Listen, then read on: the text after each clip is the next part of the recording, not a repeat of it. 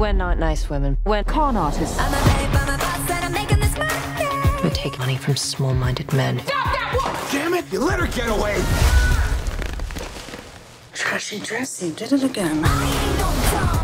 He's the mark. He's a tech millionaire. Oi, blind person here. If this person would just scoot over, would you mind, sir? Sir? Release the peasants! She must mean pheasant. Don't worry, darling. She's a terrible shot. That was unexpected. I may have been a bit of a bitch when we first met. Oh. And when I posted this.